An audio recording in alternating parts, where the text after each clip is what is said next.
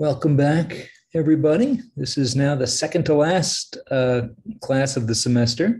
And uh, yeah, after going through all sorts of interesting stuff about, you know, our own solar system, I wanted to have at least one uh, class that sort of puts the sun in a in a in a larger uh, larger context of other stars. So we can talk about exocoronae, exowinds, and their impact on exoplanets. Um, uh, again, this is going to be another whirlwind tour, so I, I, apologize to for going through a lot of stuff very fast. But again, I just the the point of this is to sort of introduce you to all the different things that are out there, and we can always uh, talk in the Slack or somewhere else um, about some of the details if we want to go back to them. Um, yeah. So, you know, we can talk a little bit about the sun and its connection to the other stars. There's a lot of thoughts that people have had over the years. Um, most of the hour, I think, will be on number two here, you know, different types of observations of stellar activity that are analogs of solar activity. I'll talk a little bit about models and simulations. That could probably probably be another hour's class itself and also uh, impacts on actual other planets and a little a bit of some other other you know aspects of heliophysics that have influenced astrophysics in some other ways. Um, yeah i just sort of put together some some general thoughts about you know the sun and it, a while ago i found a very nice little uh, quote by Clarence Chant, a very dapper looking fellow from the 1930s, who mentioned that our sun is of superlative importance for two reasons. One, because it's the central body and ruler of our system, and two, because it is one of the stars, being the only one which is near enough for detailed study. And what we learn about it will help us to solve the problem of the universe around us. And I can't think of a better summary of the solar stellar connection.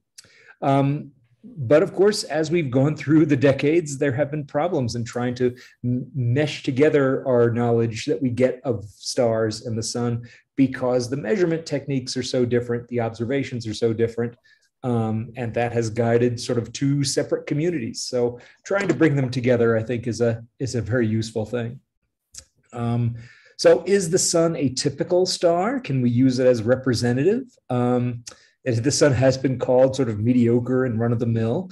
Um, in terms of its mass, it is kind of something like in the median of the distribution, right? If you look at the so called initial mass function, I found this cartoonified version on Twitter. Um, that basically shows that you know the the actual distribution function of the formation of new stars in our galaxy has a you know there's a probability distribution and the peak is somewhere around 0.5 solar masses, but the median, since it's asymmetric, the median is probably more closer to the sun's mass. So it's sort of the most probable value that you might find. Um, and also, in terms of being in the middle, its age is also in the middle, right? It's about 4.6 years old and the, the main sequence lifetime is something like 10 billion years old. So maybe there's there's some sort of anthropic reason why we're here at that median time. Uh, if you want to go down an inner rabbit hole there's this thing called the lindy effect where you can use to um, estimate how long something will last based on how long it has existed. And this sort of median time is is thought to be typical. But yeah i guess sort of that means we can sort of feel somewhat safe in, in thinking of the sun as a representative example. But of course, in order to do that, we really want to look at other stars, other examples. Um, I'm hearing something from somebody who might not have their mute. Um, but yeah, so I, am just showing a Hertzsprung-Russell diagram here. I'm sure you've seen these before for stars, luminosity versus uh, effective temperature of the surface increasing from right to left. This is just something I put together for, for another purpose where I actually wanted to explore the, the outliers, right? What are the hottest possible stars? What are the brightest possible stars? How far does the, the, the cloud of points go in all the different directions? Um, so it's not really a representative statistical sample in this in this diagram. I just wanted to see how far everything goes. And indeed, as you go all the way down to the lower right, those are the brown dwarfs, and all the way down to the extreme lower right is that little beige dot. That's actually Jupiter. So I really wanted to take it all the way down to something like the uh, the, the, the planetary scale. Um, and also on there, of course, the sun is the is the yellow dot at, at the current stage. The red is the future, the expected future evolutionary track of the sun as it first goes up to become a red giant, and then it per- sloughs off those outer layers as a planetary nebula, and then swings all the way around to a very hot and dense uh, white dwarf. And of course, these points down here are the are the other observed white dwarfs as they cool down. Um, yeah, again, I just wanted to sort of put the sun in its in its uh, perspective that way. Uh, but there are better versions of this if you want to do sort of a statistical, statistically complete sample. Uh, there are there are different ways of doing it than than this. Um, yeah, so so maybe we shouldn't emphasize the outliers if we're just looking at typical values. So maybe let's look at typical uh, different types of stellar activity: rotation rates, photospheric granulation, magnetic fields, chromospheres and coronas. That's a that's a big one, and also the properties of their stellar winds. So we can start with rotation. Uh, I've got another scatter plot here of, of all many different thousands of stars plotted on one plot. The rotation period is the y-axis. And again, like an, like an HR diagram, the temperature goes from right to left. The sun is up here at a period of 25 or so days in terms of sidereal period and our, our effective temperature. And it's right in the middle of this black blob of tens of thousands of points of other stars that mostly have been measured by looking at very precise uh, light curves and basically looking at star spots going around and using those to, to tease out what the actual rotation period is. Um, we can see a feature that has been known since the 1960s from Bob Kraft that as you go just a few thousand degrees hotter than the sun, the typical rotation period gets much, much faster. The rotation period drops precipitously. This is called the Kraft break.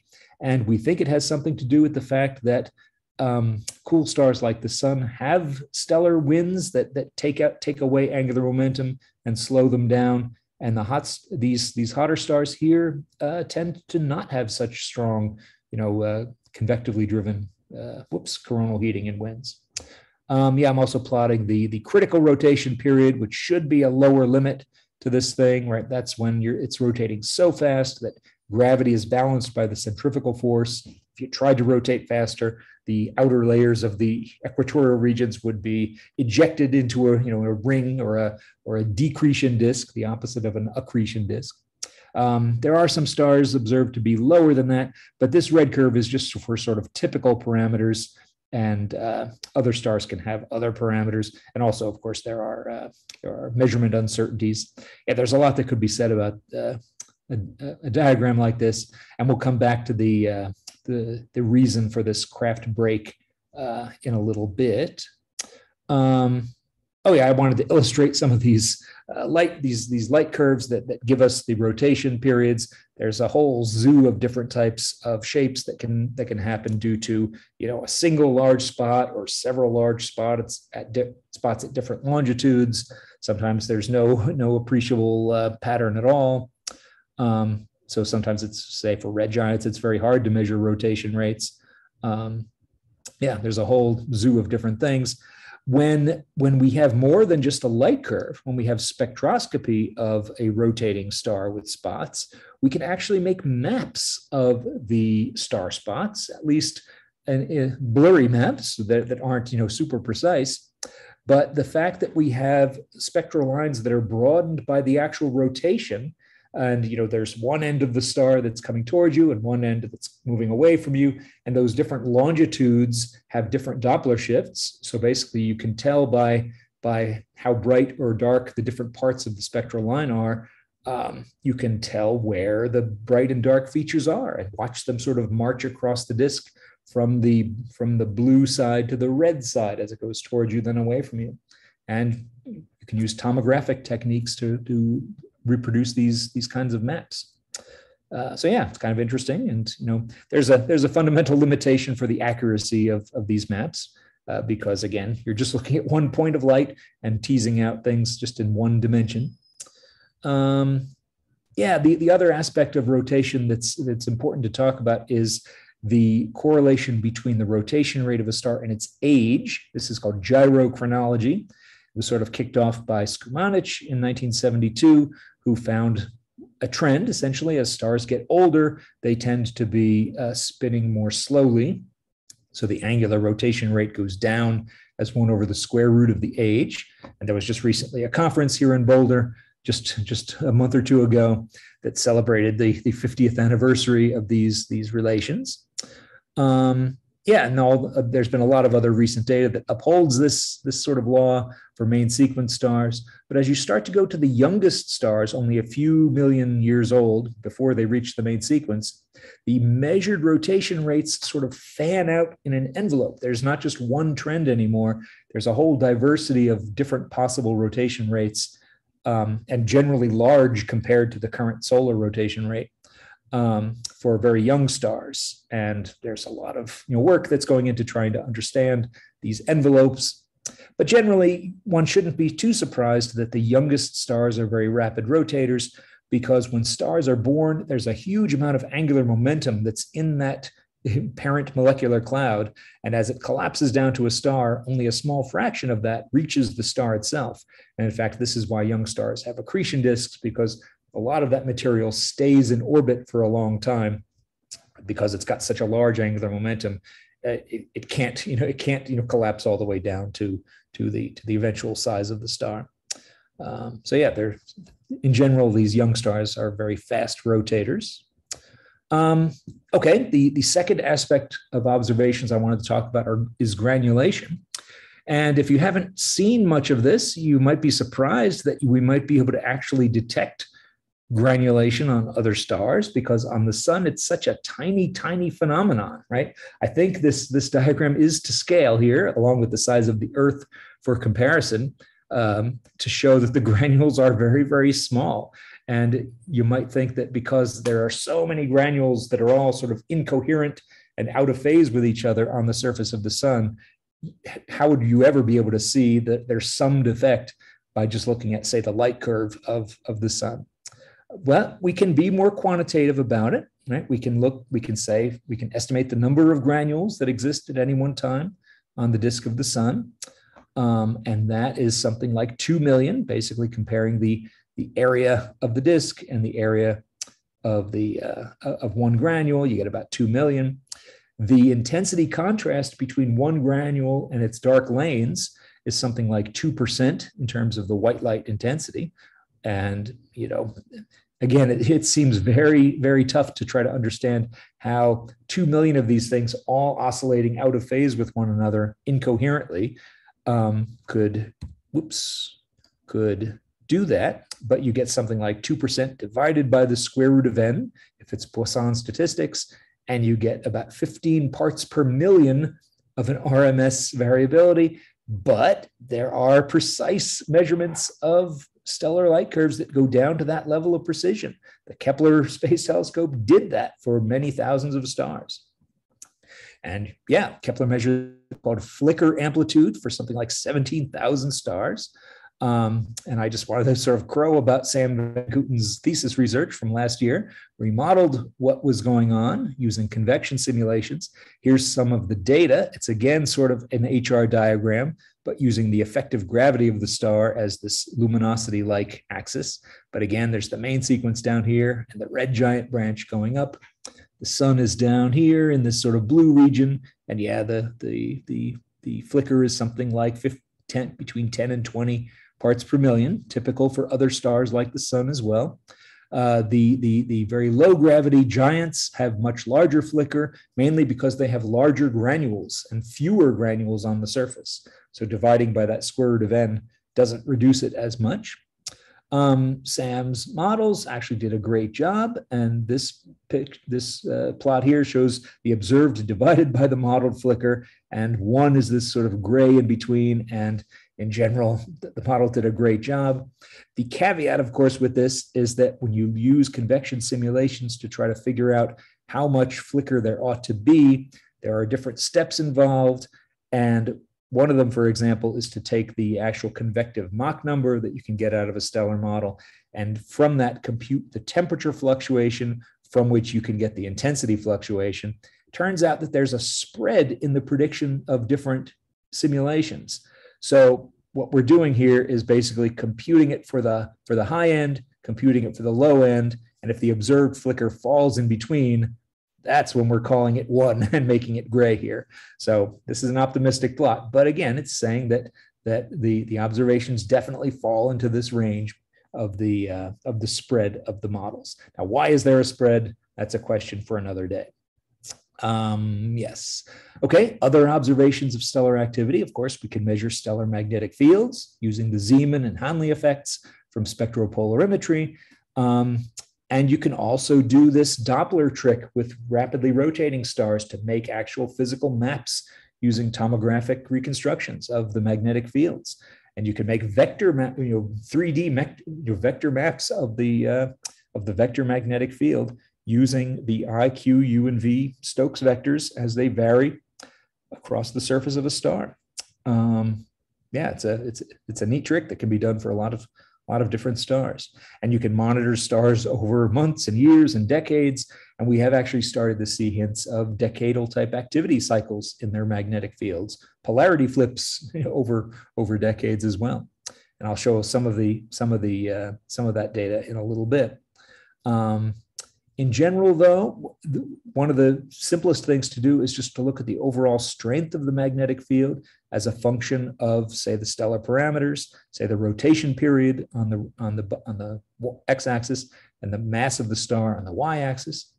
In general, we see stronger fields, which are larger symbols in a plot like this, uh, for for shorter rotation periods. Um, it's not an exact left to right correlation. It's more of a lower left to upper right correlation.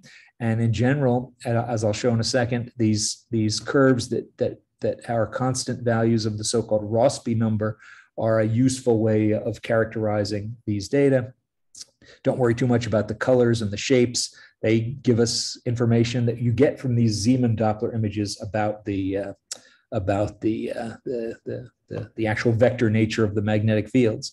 Um, so yeah, there's a lot of work being done trying to compare dynamo simulations with, with these types of plots. Um, but yeah, this Rossby number was was pointed out by Bob Noyes in the 1980s as a ver- as a much more useful parameter that helps organize the organize the data rather than just having sort of uh, scatter plots. Basically, these tighten up the scatter plots to to uh, to uh, much tighter correlates. Uh, it's essentially taking the rotation period and dividing it by the convective overturning uh, time scale for stars of a given for stars of different masses. So basically, this lets us compare, you know, stars like the sun and M dwarfs the apples by this sort of dimensionless ratio rather than just looking at overall time scales in in days. Um, if we wanted to look at the magnetic field and also compare apples to apples for different types of stars, we can compare the measured magnetic field with something called an equipartition field strength. You know, we know that that, that magnetic fields exert a, a pressure and gas exerts a pressure. And from the measurements of the stellar spectra, you can you can you can figure out what the gas pressure in the photosphere is. And if those two pressures were equal, you can compute a magnetic field strength that is usually uh, for the sun, it's something like 1500 Gauss. So it's sort of on the high side. It's sort of around the, the, the vicinity of the maximum field strengths that you see on the sun. So what you can do is measure, take the measured field strength, divide it by the equipartition field strength. This is often called the filling factor of strong fields. So very, very active stars have filling factors of order one. The sun has is, is a very low activity star compared to many others. So it's got a filling factor of you know less than a percent to just a few percent, and it varies up and down as the solar cycle uh, goes from min to max. Um, and yeah, we can look at at these different things. We can look at the magnetic field strength versus Rossby number, or we can look at this filling factor versus Rossby number. It's kind of similar for magnetic fields. Um, and we generally see that for the more rapidly rotating stars, which are the shorter periods, so smaller Rossby numbers, we see sort of a saturation, we see a flattening of this trend, which sort of which the the filling factor curve tells us that we've reached one right? It's kind of hard to go very far above one in terms of filling factor because the entire star is sort of fully covered in fields that are roughly speaking as strong as they can get uh, the the less active more slowly rotating stars have a decreasing trend. And the sun is sort of down here with that purple strut. And yeah these these types of you know power laws and combined with flattening when it saturates are very important constraints to to convective dynamo type type models. Whoops. Um, yeah. Oh yeah the other aspect of stellar magnetic fields i mentioned the decade scale cycles that have now been measured for many stars here they are right the the the x-axis is the rotation period of different types of stars of different spectral types with the colors and the y axis is the cycle period in years. So some of these stars have been measured for, you know, 30, 40 years to be able to detect periods, uh, cycle periods like this. And what Böhm-Vitense and, and others have, have noticed is when you look at a plot like this, there seem to be two tracks, right? There's this upper track, there's this lower track. And well, the first thing you want to know is where's the sun? And the big surprise from Böhm-Vitense's paper in 2007 was that the sun falls right in the middle. Um, so maybe the sun isn't a typical solar type star um, because it's falling in the middle. In recent years, Travis Metcalfe and Jen Van Saders have, have done some more work, added more points to this plot. Their complete version of the plot is here. Their idea is that the typical evolution of a star as it spins down, basically all stars are moving from left to right as they spin down, but there's a point in the star's evolution where the dynamo sort of cools off and and you know goes from a very short period to a long period. So as they as a, as as a star cools down it'll reach a point where then it evolves straight up. It, it evolves from the short cycle period branch to the long cycle period branch. And the idea is that the sun might be in the middle of that transition right now. Um, so there's a lot of interesting work trying to add more points to this plot to try to try to make sense of, of models like that. All right, I guess we can finally come to the to the to the main observations of stellar activity, the actual measurements of a stellar chromosphere and a corona, and there are all, there are a whole host of uh, correlations between the things that we've already talked about and the actual, you know, photon emission, you know, X-rays, UV, radio emission, Stuff like Kevin France's group is measuring for a lot of stars, especially in the EUV. Um, and then chromospheric diagnostics, like what we, we can get from spectral lines. Um, yeah, again, there's a whole history in Boulder of, of measuring these things, also over many decades to look for cycles in, in these diagnostics.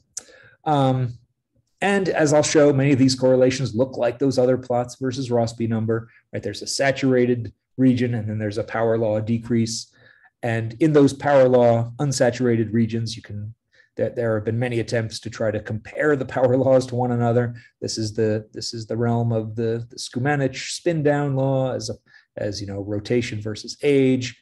You can look at the magnetic flux measured on the surface as a function of rotation rate, another power law, with X-ray luminosity versus magnetic flux, another power law, and you can intercombine these things to look at how they they they scale with one another um, yeah, these plots versus Rossby number, as I said, look very much like the, the magnetic field ones, rapid rotators, saturated, and then transitioning to a, to a power law like decrease. The one for x-rays is really kind of beautiful that it just almost looks like, yeah, two, two in a log-log plot, it looks like two straight lines uh, connecting these two different regions. Um, yeah, so that's the general idea for the overall sort of time averaged uh, measure, measures of the strength of the chromosphere and the corona. Um, when you look at stars as a function of their evolution in the HR diagram, um, here's a here's another HR diagram, and again, ignore the uh, ignore the, the colors of the symbols. Basically, all these stars have measured activity in, in one type of or, one type or another.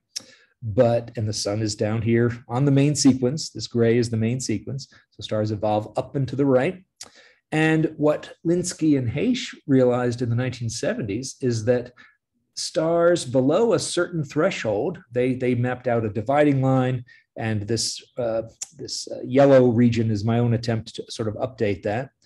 Um, is essentially a region where there are coronas. And then for the giant, for the red giants, above a certain uh, you know, point in their evolution, there are no coronas. There, there are no X-rays. There are no, you know, there, there's no strong UV emission. It's very hard to find the, the, the presence of a corona. They do have extended chromospheres, but not extended coronas. Um, in the 80s, people discovered sort of a series of hybrid stars in between, so-called hybrid chromosphere stars. Also, Tom Ayres here in Boulder is studying a lot of this what, he calls the coronal graveyard right here in this transition region between coronas and not coronas.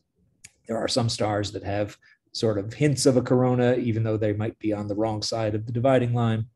But yeah, in general, they evolve from having a corona to not having a corona.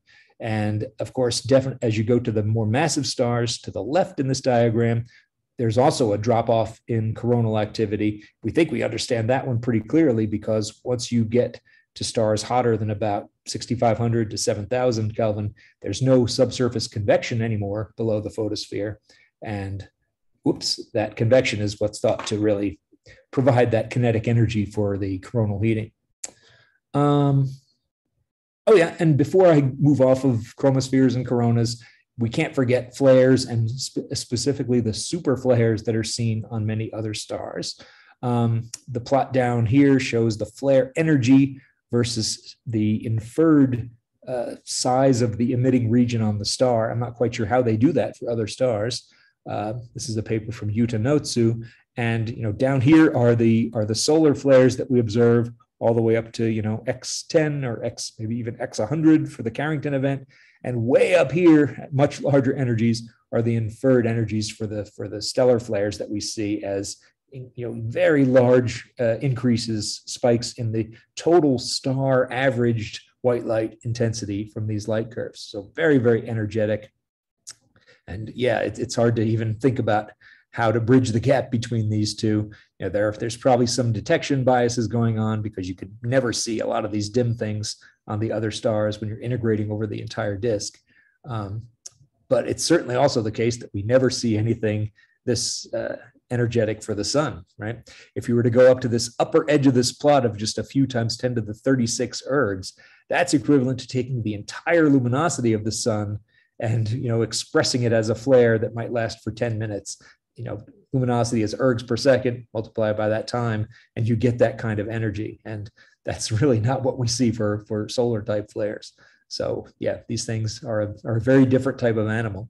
Um, but I wanted to mention them, and there's still a lot of, of interesting modeling that's going on.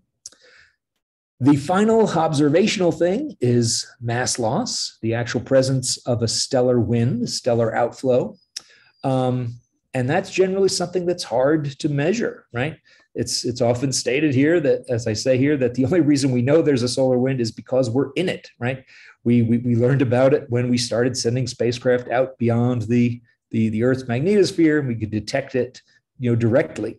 But if all we had was, you know, if we were looking at the sun from parsecs away, it would be very difficult to tell that it actually had an outflow.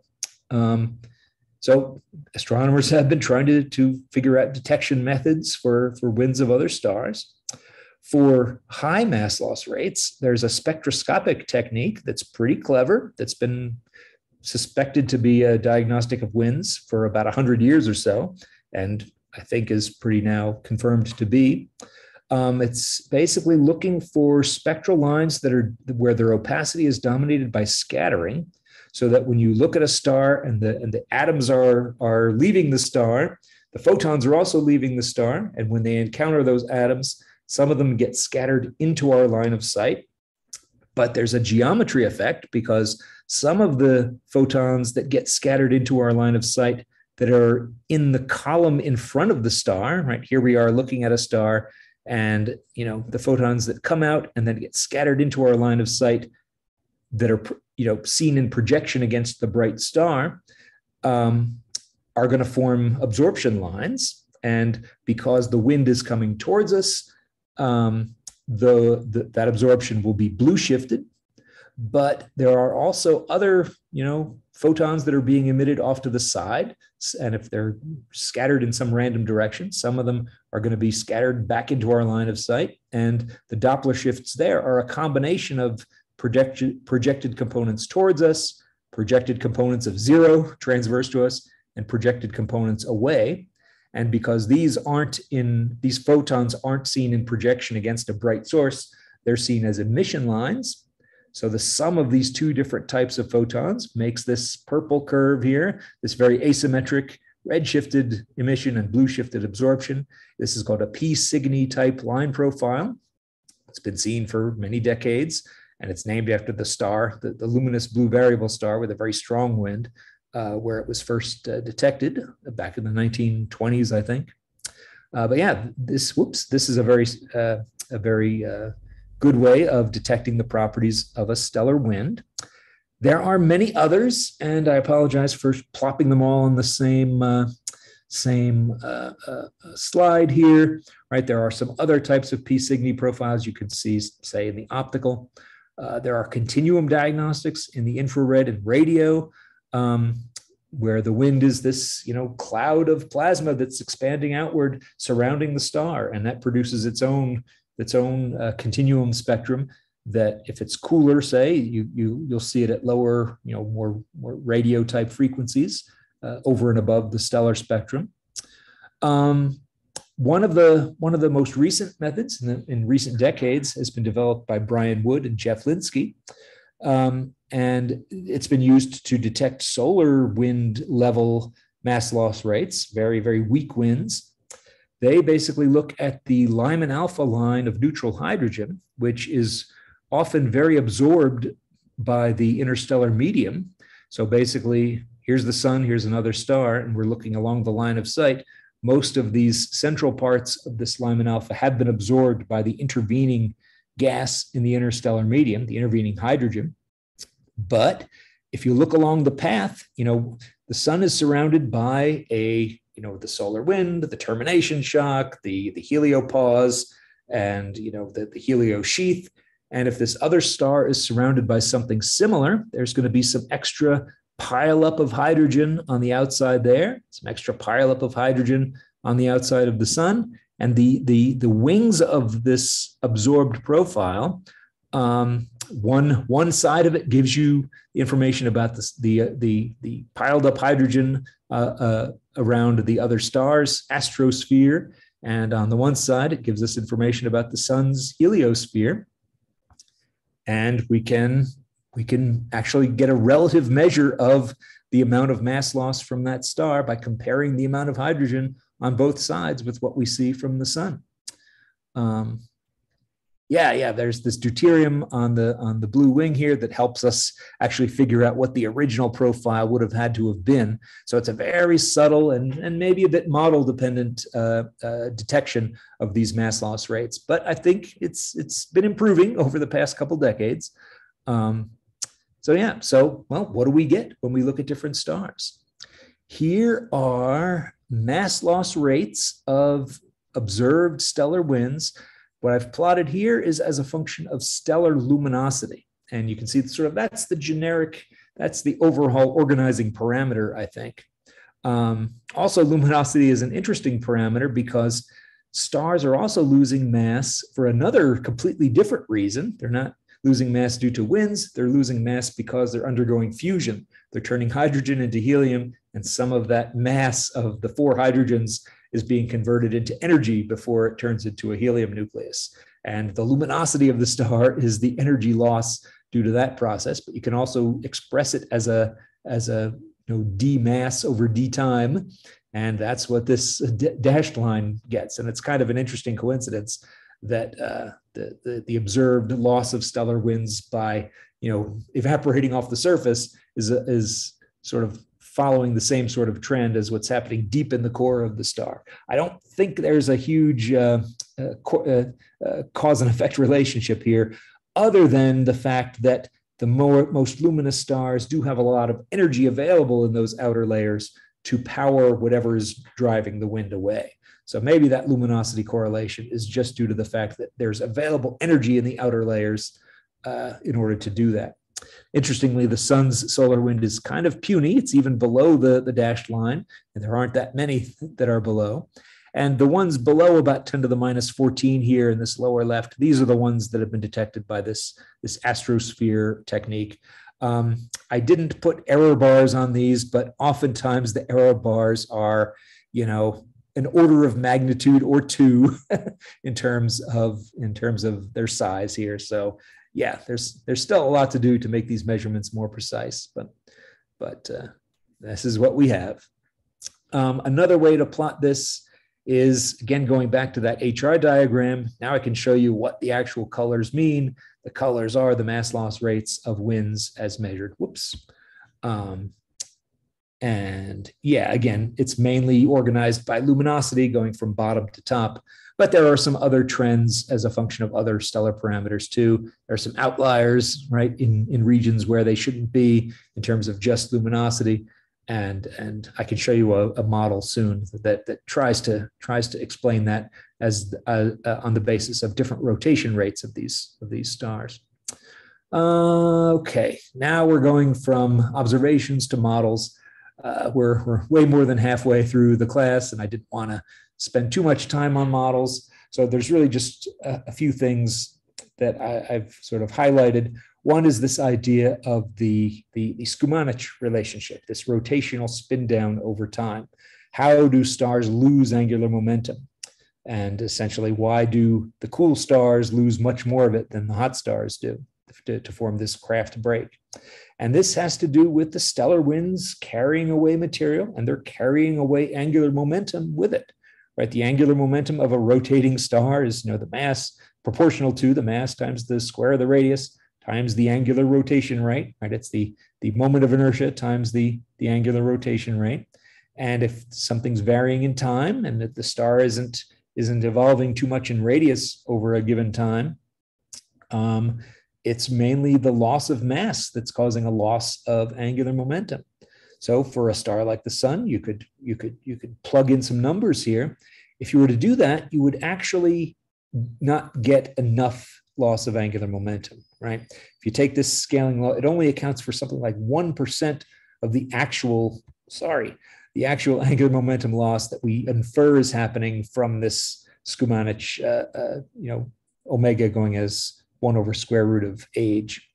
Um, the solution to that uh, was, I think, pointed out by Weber and Davis, who found that it's the magnetic fields that actually uh, increase the lever arm and increase the amount of torque that's carried by this entire system. You know, it's not just the star itself that's carrying the angular momentum. If there's a magnetic field that forces all the plasma in the corona and the wind to, to co-rotate uh, uh, far above the surface, that actually produces a, a, a, a, like I said here, a bigger lever arm, a bigger amount of torque that allows more of it to be removed by the wind right? So instead of omega times the stellar radius squared, it's omega times the Alfvén radius of the of the wind squared, and that's usually at you know a dozen uh, solar radii above the surface. So squaring it, you can get a few hundred times what you get from the simpler model, and that seems to produce what we actually see, at least for the uh, for the main sequence stars.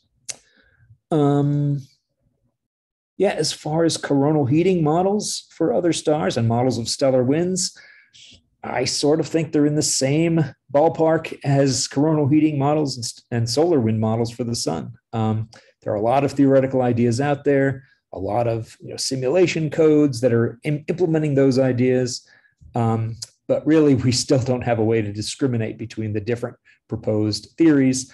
I mean, the only other thing I'm going to give you here is a result from a paper I wrote with Steve Saar uh, more than 10 years ago now. This is again the HR diagram where the where the point colors are the stellar wind mass loss rate measured on the left and for stars near the sun on the main sequence and in the red giant branch, uh, we have a model that that implemented things like MHD turbulence and you know the balance between you know conductive and radiative losses and all the different heating and cooling rates to uh, to try to figure out what is the base pressure um, in the in the open field corona, and that helps you determine the mass loss rate. And it, it we think it did a pretty good job. It, it, required the input of the the rotation rates. Right, we had to use something like um, I won't go all the way back, but you know when when we plotted the the uh, magnetic filling factor versus Rossby number, uh, there were these curves on there. We basically had to use one of those curves as a as a calibrator to figure out how much uh, how much magnetic activity there is for a given rotation rate. But it seems to work pretty well. Um, yeah, more information on that if if if desired. I did want to make sure we didn't leave before talking about the impacts on exoplanets, right? All the space weather effects we've talked about ought to be happening in these other solar systems too. Um, a lot of what happens to the Earth depends on the magnetosphere. We actually don't have unambiguous detections of exoplanet magnetospheres yet.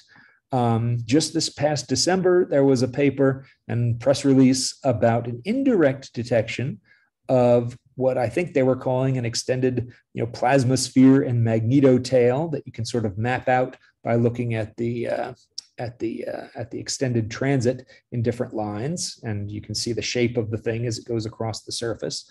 Um, but there were no actual planetary magnetic fields detected from from this this this one exoplanet. So I still think of it as an indirect detection.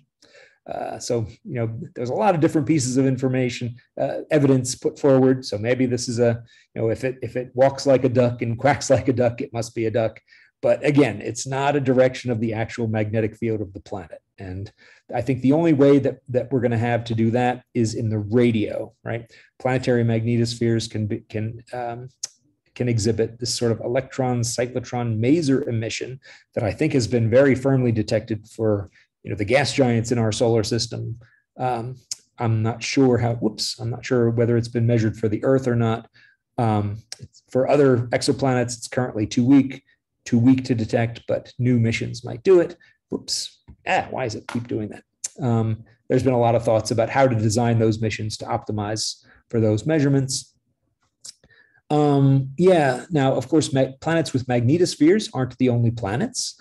Uh, there are right here, right here in our solar system, planets like Venus and Mars that don't have large scale global magnetic shields like the Earth does. Um, you know, say on Mars, the uh, the uh, the solar wind and you know magnetic variations from CMEs kind of get much closer to the surface of the planet and produce an induced ionosphere and an, an induced magnetosphere that can sometimes be enhanced by you know little pockets of magnetism, say on Mars.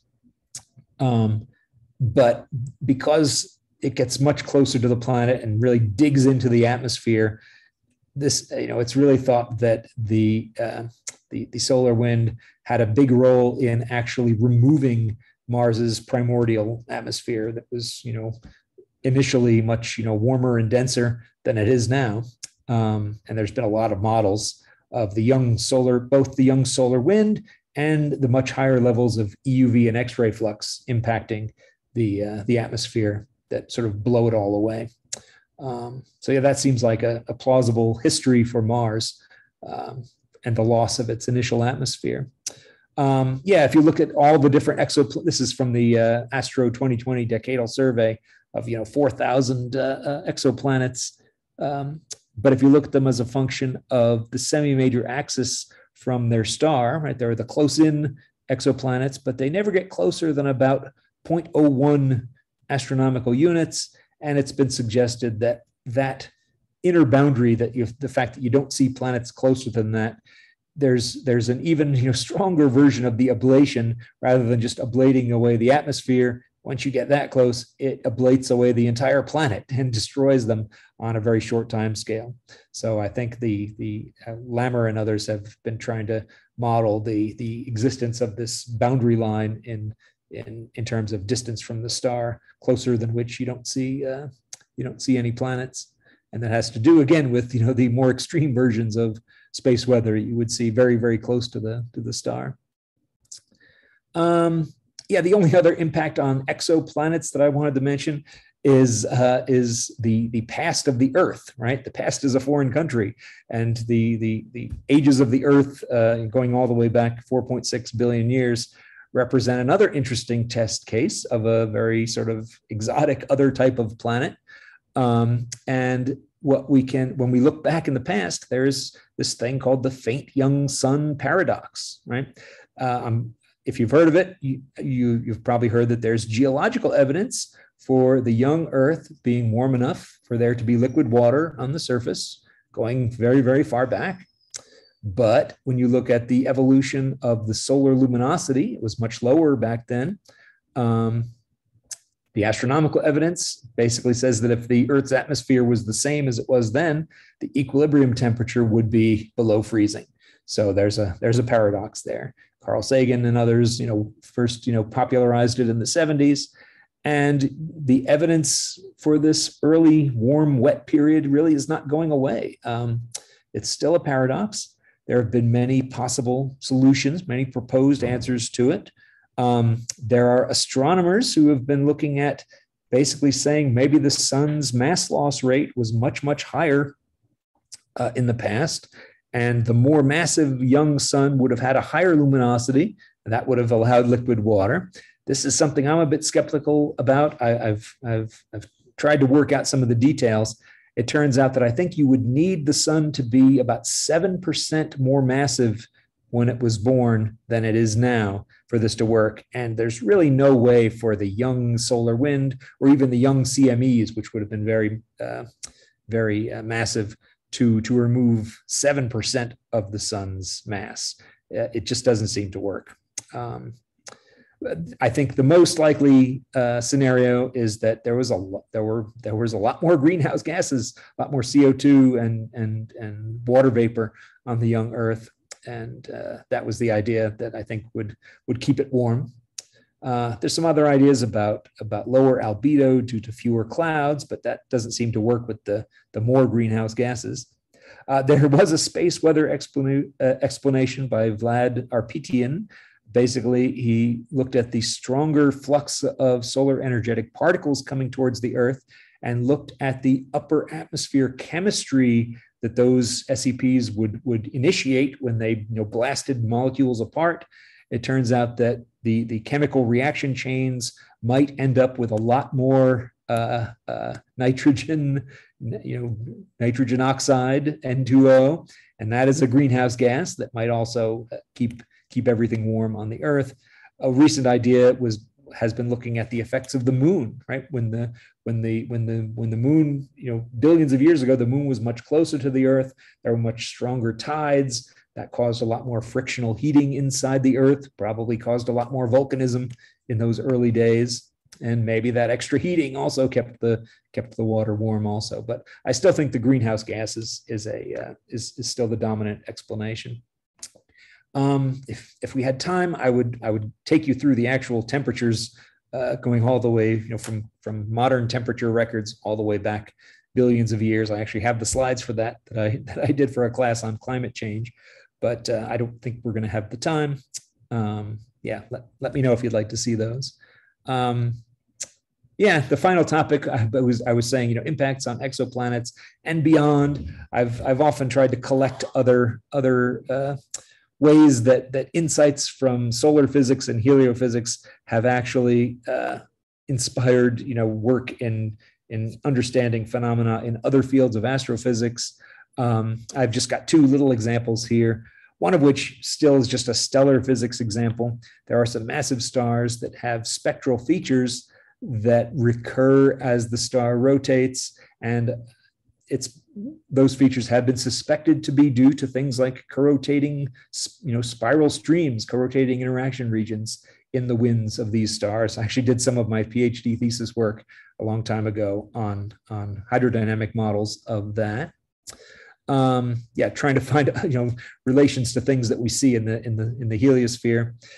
Uh, uh, the other example is accretion disks. You know, not just around stars, but around you know black holes and active galactic nuclei. Um, these things have a laundry list of plasma phenomena that looks very similar to what we see in theories of coronal heating. You know, turbulence, reconnection, you know, hot, you know, million degree coronas. Also, there are some collisionless regions above and below these things where the, the, you know, the ions and the electrons have different temperatures, much like we see in different parts of the solar wind. So yeah, there's there's a lot of interesting uh, parallels, and I think helio-inspired phenomena uh, is, is fair to say. All right, that brings us to the end. No, no, no reading for next week. Next week is the last class. I think we're aiming for some sort of you know open-ended discussion. Tom and I might have some some things to present, but yeah, if you've got any remaining questions, speculations, crazy ideas, um, we can we can talk about them. And yeah, that sort of is all I had.